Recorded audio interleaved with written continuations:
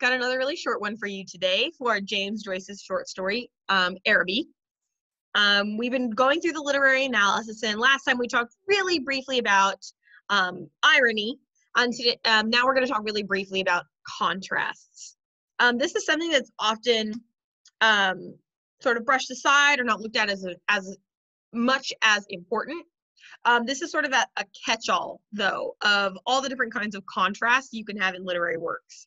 You can have contrast between characters. So you could have a character that is opposite or quite different from the main character, and they're being set up as a foil, um, someone who represents um, some different uh, characteristics.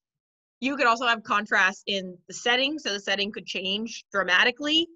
Um, you could even have contrast in in the way that you have figurative language, like similes and metaphors.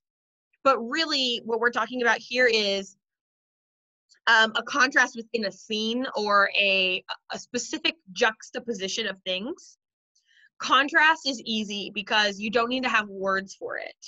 Um, you don't need to know the fancy literary techniques. You don't need to know the names of the, the names of the devices. All you need to know is, wow, they're setting up things to be different here. Um, so that's why I just wanted to do a quick little note about contrast because contrast is so universal. It applies to everything. You could talk about anything you read and discuss the contrasts that are going to be evident in it. It sort of plays into one of our, you know, base uh, understandings as humans is understanding differences and understanding that by looking at differences or looking at how things contrast, you actually have a better understanding of it and that in fact these differences don't represent two separate identities or two separate entities but rather two sides of the same coin. We we as humans aren't one dimensional we have many dimensions. And so the contrasts that are evident within ourselves within stories within characters within scenes leads us to a better understanding of the text and of ourselves as a whole. Especially um, evident in this is that last time we found out that the protagonist had been given a florin to go to the bazaar. And a florin is a coin that, of course, is going to have two sides. So it kind of is a little bit symbolic here, and we'll get to that later. Um, but um, we're going to talk about the contrast. So he gets to the bazaar and um, he gets off the train and he says, I could not find any sixpenny entrance. And fearing that the bazaar would be closed, I passed in quickly through a turnstile, turnstile, turnstile, handing a shilling to a weary looking man. I found myself in a big hall girded at half its height by a galley.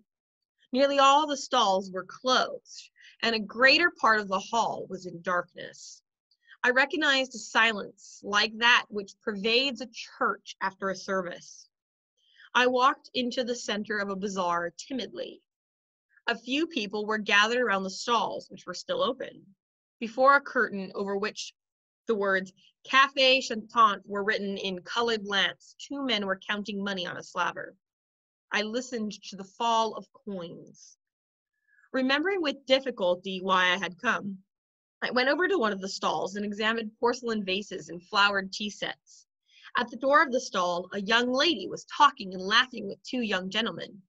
I remarked their English, English accents and listened vaguely to their conversation. Lots of contrast here. So, of course, we know that this young character himself um, comes from sort of an impoverished part of Dublin. And normally he would find the six penny entrance, which is um, a much cheaper way. But because he's so scared that he's going to lose his chance to be at the bazaar, he pays a whole shilling. So he's coming out of his normal lifestyle where he'd pay a six penny and he's paying a whole shilling.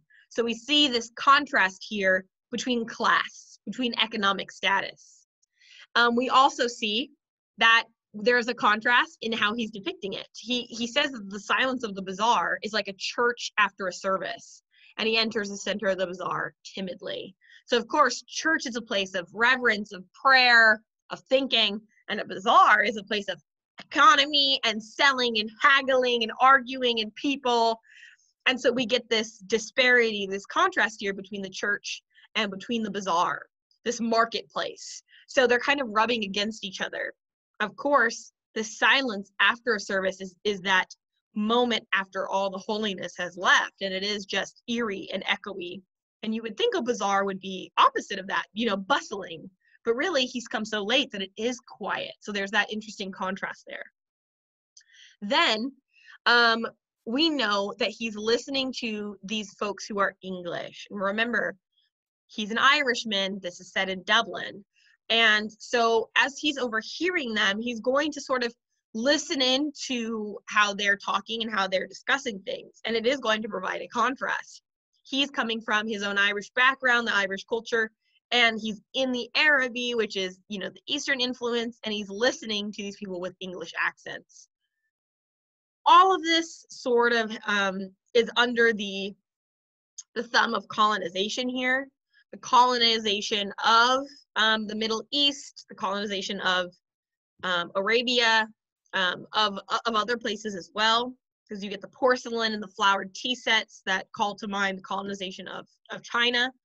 Um, and then, you know, the colonization of Ireland by the English. Sorry to take a tangent into history here, but there's lots of contrast going on culturally. Um, and then he finally is listening into their conversation. Oh, I never said such a thing. Oh, but you did. Oh, but I didn't. Didn't she say that? Yes, I heard her. Oh, there's a fib. Observing me, the young lady came over and asked me, Did I wish to buy anything? The tone of her voice was not encouraging. She had seemed to have spoken to me out of a sense of duty. I looked humbly at the great jars that stood like Eastern guards at either side of the dark entrance to the stall and murmured, No, thank you. So now look at the contrast of the dialogue. They're gossiping, they're they're talking about what's going on, they're having this back and forth and of course we haven't really had much dialogue this is this is dialogue here without any um, name markers without saying then he said this and then he said this and then we finally get another murmuring really from our protagonist who just says no thank you.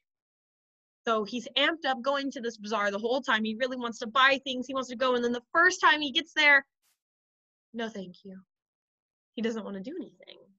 So we get this contrast between the way that the dialogue is happening. You know they're so um you know engaged in conversation. And the minute he's asked to speak he doesn't want to. And then you know the contrast in how he had been talking it up earlier. He's so excited to go. He wants to go so badly. He's got the money. Do you want to buy anything? No.